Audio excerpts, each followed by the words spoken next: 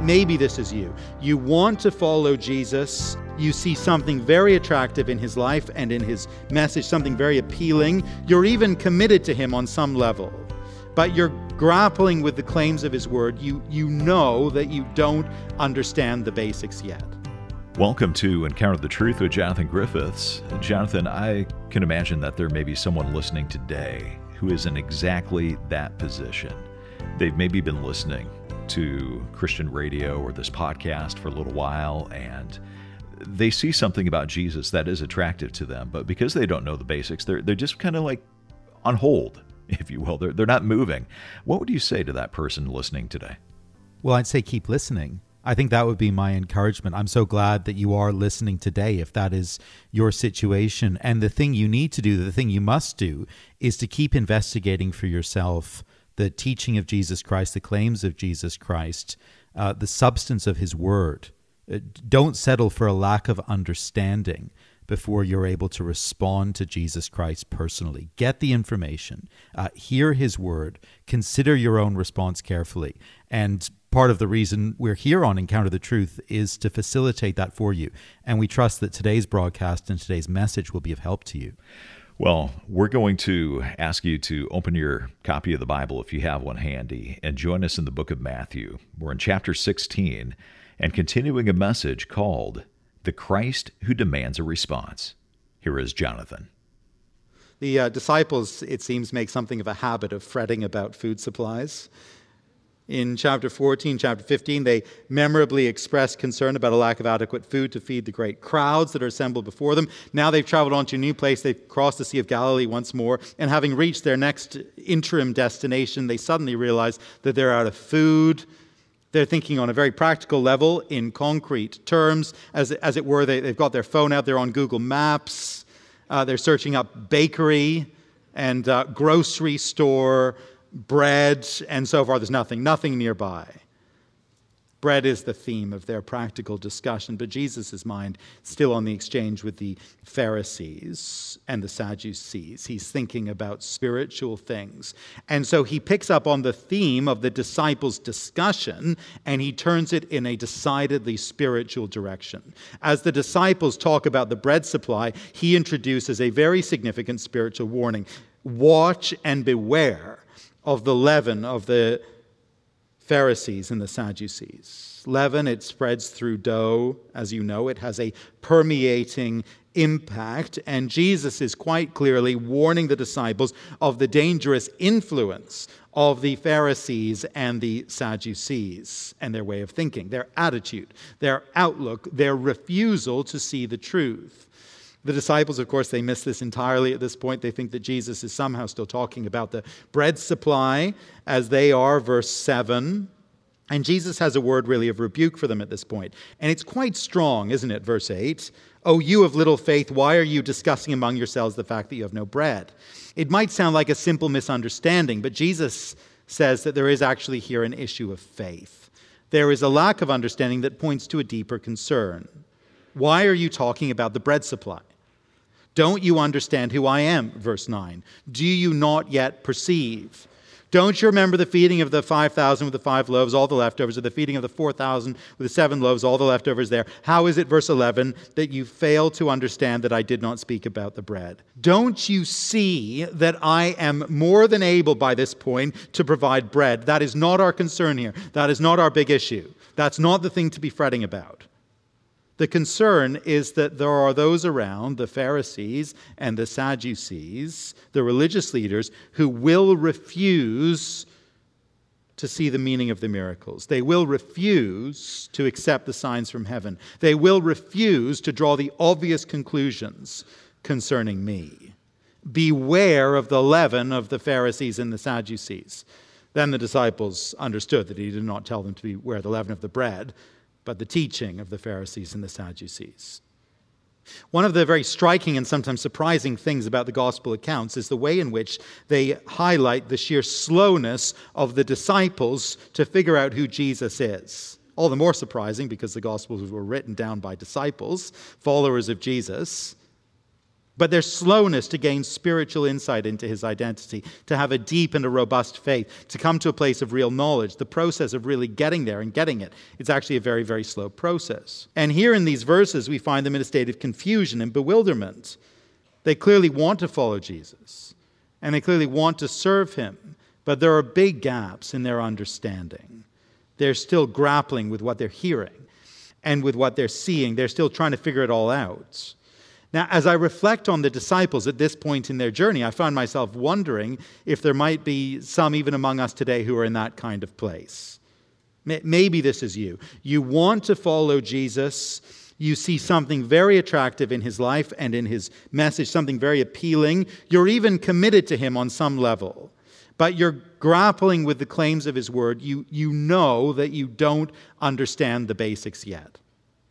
And if that's you, and it may well be a number among us, it's important to hear and take on board the warning that Jesus issues here in verse 6. Watch and beware the leaven of the Pharisees and the Sadducees. Watch and beware, says Jesus. And you might say, well, you know, as it happens, I've never met a Pharisee, I've never met a Sadducee. So I'm really not too worried, actually, about their leaven. I mean, thanks for the tip. I'll keep an eye out, but I think I'm okay. But the reality is, of course, that the attitude of the religious leaders is everywhere to be found. It's found very widely, of course, in secular society. And we know this, don't we? The word of Jesus is set aside as quaint or foolish or worse.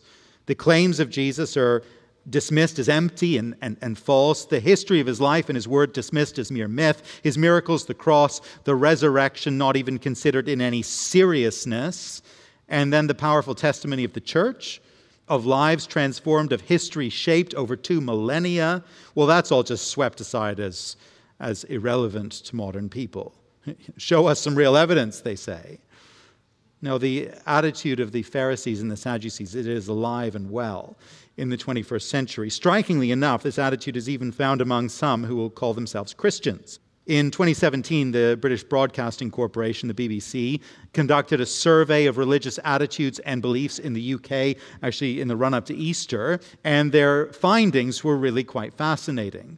Among other things, they reported that fully one quarter of people in Britain who self identified as Christians did not actually believe in the resurrection of Jesus Christ. I mean, can you imagine that? You know, we'll take some elements of the message of Christ, we'll, self identify in some broad sense as Christians, but, you know, obviously, obviously, we would need some real evidence to believe in something as astounding as a victory over the grave, something like the resurrection. Cynicism, skepticism, doubt, disbelief, a refusal to grapple with the evidence of the miraculous work of divine power in the life and ministry of Jesus Christ, a refusal to go where the evidence will take us, a refusal to believe. Beware the leaven, says Jesus. Watch out for it. Sometimes, you know, we'll hear the story, won't we, of a kid who gets caught up with the wrong crowd and gets drawn into some bad stuff. I'm sure you've heard stories like this. You know, nice kid, comes from a good home, means well, is doing a pretty good job at school, bit naive, maybe a bit gullible, but he gets to know some cool kids from the grade above his or a couple grades above, and they start inviting him to hang out a little bit. And then they give him a role to play in some of the stupid things they're doing. They're into uh, a little bit of shoplifting at the local convenience store, maybe some graffiti under the railroad bridge, and one or two other things that aren't above board. And before this kid knows it, he's caught red handed when the authorities show up, when the police arrive. And his so called friends suddenly, they're nowhere to be found. It happens, doesn't it? We know the stories. The truth of the matter is that on the day of final judgment, the skeptics who sneer at the message of Jesus Christ, who pour scorn upon the faith, who won't examine the evidence, here's the thing they won't be there to bail you out.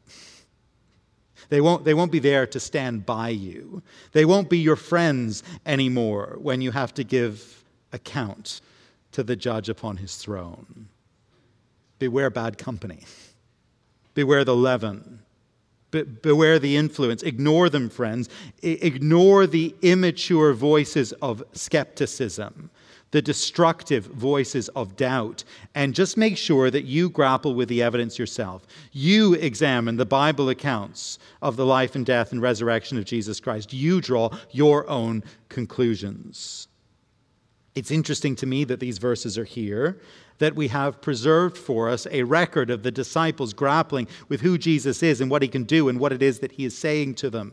I mean, we might have expected the disciples who were in this immensely privileged position of being with Jesus and experiencing his ministry and hearing his teaching firsthand and watching the miracles, we, we might have expected, look, they're going to just get this right away. They aren't going to struggle with any of this. But, but that's, that's not what happens.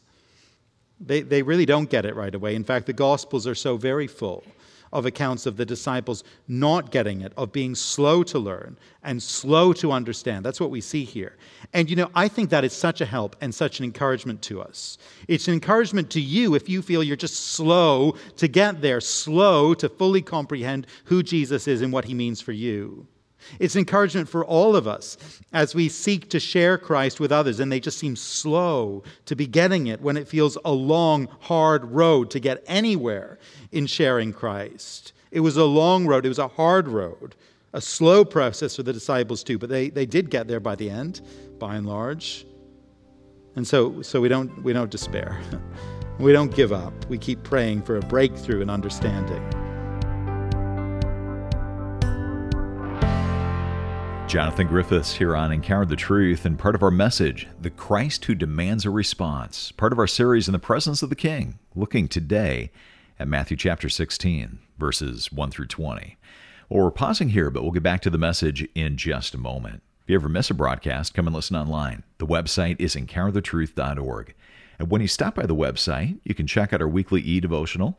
You'll find links there to the newsletter, social media, and our YouTube channel.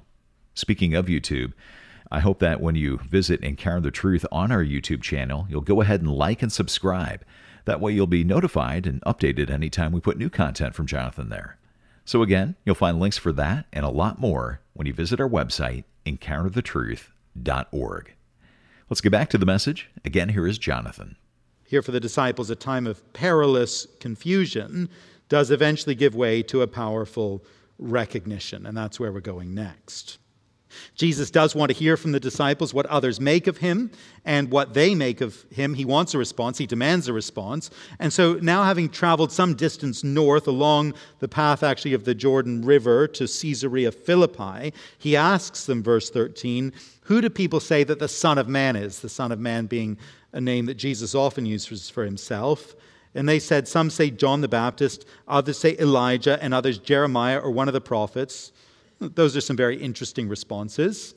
People clearly recognize that Jesus has a prophetic message, but they're not getting to the heart of his identity. And so now we press a little bit further, verse 15. But who do you say that I am? What about you then? What do you think? He presses them. Simon Peter replied, You are the Christ, the Son of the living God. Now, this is a huge moment in the ministry of Jesus in the gospel story. Here is a moment of clarity, of confession, of recognition. This isn't a vague answer, is it? It, it isn't an answer that is pretty close to the truth. It's not an answer that is kind of nearly there. No, this is it. Peter certainly has more to learn. We're going to discover that. But this is a very powerful confession of Jesus as the Christ. That is, as the Messiah of Israel, the promised king in David's line, the ruler who came to save. He is the divine Son of heaven. Here is God Himself come to rescue and to rule. What Peter expresses, what he articulates, this is the perfect answer. This is the full and true response. It's a lovely moment. We, we sense that it is significant, that it is weighty, it is meaningful. Why is this so? What do we learn from this big moment of recognition? Well, Jesus wants us to see that for Peter and for us, coming to this point of confession is a mark both of blessing and of responsibility. And I'd like to say something about both of those. First of all, it's a mark of blessing. Verse 17, and Jesus answered him, Blessed are you, Simon Bar Jonah, for flesh and blood has not revealed this to you, but my Father who is in heaven. In worldly terms, if you and I were in Peter's shoes at this point, we might feel that we deserve congratulations. We, we like to be congratulated, of course finally, you know, a contestant on The Price is Right who has guessed it correctly, who got it right, and now come the balloons and the special prize and the cheers and the applause from the studio audience. But you know, Jesus doesn't say, Clever are you? or special are you? Or impressive are you. No, he says, Blessed are you. He says, Peter, the Father has blessed you in bringing you to this point of recognition. You didn't get here all by yourself, Peter. Flesh and blood did not do this. Your own powers of reasoning and investigation didn't get you here alone. No, this has been revealed to you, Peter. It's a blessing. You know, that is such an important reminder, friends, for us. If we believe that the gospel is true, if we sense that as the people of God, we have an insight that the world around us just doesn't share, they don't see it, none of that is ever a cause for pride. None of that is ever a cause for smugness. What's it a cause for? It's a cause for humble thanksgiving. True thanksgiving that the Father has so blessed us that we might see and we might believe. And knowing that flesh and blood will never on their own get anyone to this point of saving faith, as we have concern for those around us, and I trust that we do, for our loved ones, for our friends, for our neighbors, here's a reminder, above all else, that we must pray that the Father would bless them with eyes to see who Jesus is and hearts to believe. Peter has a, a, special role, of course, as the first to make this very wonderful confession in full. He is a kind of leader among the disciples and among the apostles, and he, in his confession of faith, will be a kind of foundation for the church. His name means rock, and he will be a rock, verse 18, Jesus says. But the truly important thing here is not Peter personally so much as the confession that he has made. In this confession of faith, it is a very powerful thing. It means responsibility, it means huge responsibility. Verse 19.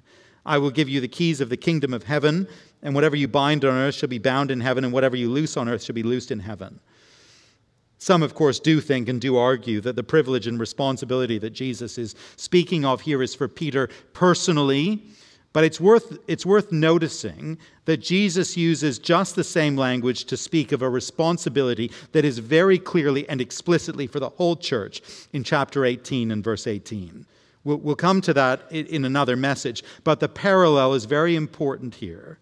Peter is acting as a leader and a representative of the disciples as a whole group, of the church as a whole. And because Peter and all believers who follow Peter have the gospel confession of Jesus Christ, because we have the gospel, we have this tremendous privilege and tremendous responsibility. We have in our hand the very keys of the kingdom when I was a student working a, a, summer job, my, my boss needed to go on a trip out of town, and he said, Look, could you, could you drive me to the airport to catch this flight?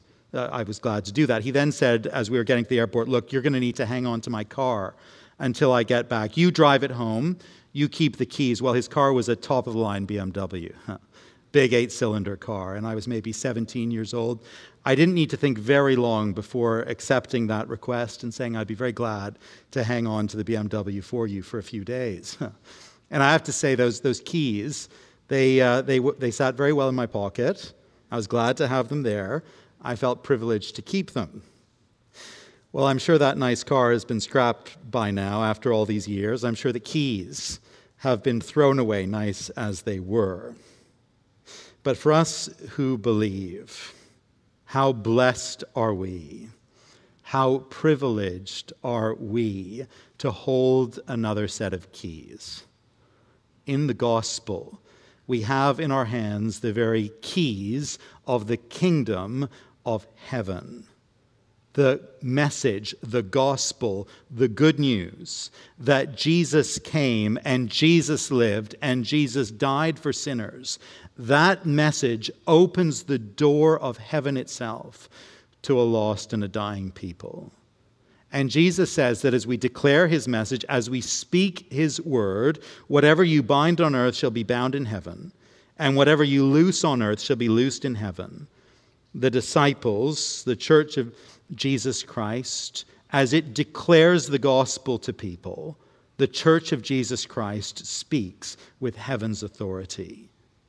As we declare the gospel, we proclaim the good news that Jesus is the Messiah, the Savior, the Son of God who came to live before us and to die in our place. And based on a person's response to that message, we can say to that person, Welcome, brother. Welcome, sister. The door of heaven is open to you. You're a part of the family of God. Or we can say with tears in our eyes and trembling in our voice, friend, you aren't part of the kingdom. You aren't part of the kingdom because you won't accept Jesus. If you won't repent of sin, if you won't believe in the Son, you're not part of the family of God, much as we long for you to be. And in that very real sense, as the church speaks and applies the gospel here on earth, we speak God's own word and we do so as heaven's representatives. Now, notice the contrast here within the passage. Notice the irony. The religious people came along presuming to act as judges over Jesus. Show us a sign, they say. Perform a clever trick for us, and maybe we'll believe. But Jesus, what does he say? He declares them wicked and he has no more time for their folly. Then the fumbling disciple, who in humility confesses Jesus is the Christ, who makes that gospel declaration, Peter in this particular moment, that fumbling disciple holds the very keys of the kingdom. He speaks as heaven's representative. And the same is true of the Church of Jesus Christ today. Here in Ottawa, we live in a city that is very interested in geopolitics and in power. And you know, if we were to take a map of Ottawa and place a pin on the map in, in the location that, that epitomizes power, we might very quickly, I don't know, put the pin on the Houses of Parliament, on Parliament Hill. And that would be a natural thing to do, of course.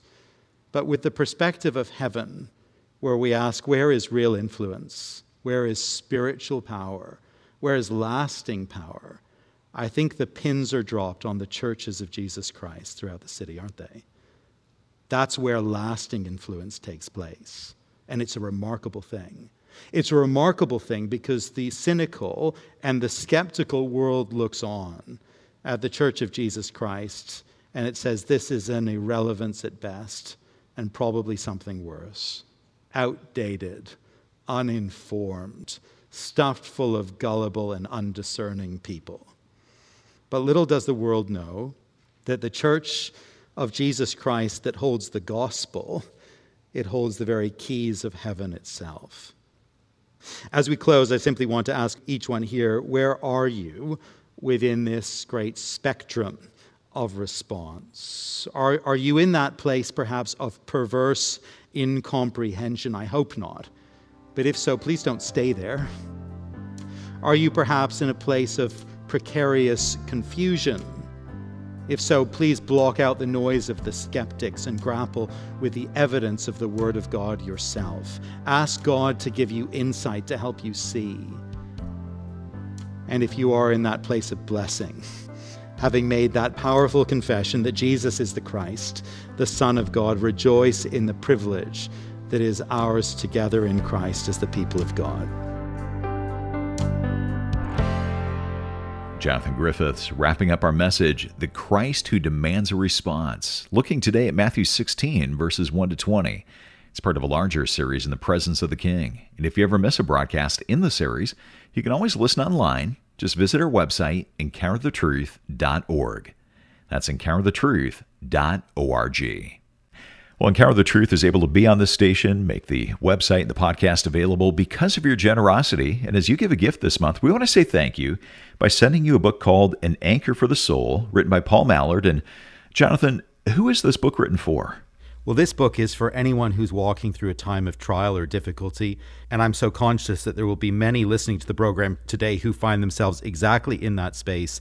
And if that is you, if you're walking through the valley of trial, I'd love to get this book into your hands to be an encouragement to you from the scriptures to look to the Lord and find your hope in Jesus during this time. There will be others who are listening today and who have friends and loved ones who are going through a very difficult season in life. And perhaps you could get hold of this book and give it to that loved one and bring encouragement to them today. I'd love to get it to you. Well, we want to send you a copy of this book, An Anchor for the Soul, as our way of saying thank you for your financial support. You can give online at encounterthetruth.org or over the phone. Our number is 1 833 99 Truth. Again, the website is encounterthetruth.org and the phone number is 1 833 998 7884. You can also write us at Encounter the Truth, 2176 Prince of Wales Drive, Ottawa, Ontario, K2E0A1, or in the U.S. at Encounter the Truth, 215 North Arlington Heights Road, number 102, Arlington Heights, Illinois 60004. For producer Mark Bretta and our Bible teacher Jonathan Griffiths, I'm Steve Hiller. Thanks for listening, and I hope you'll join us next time.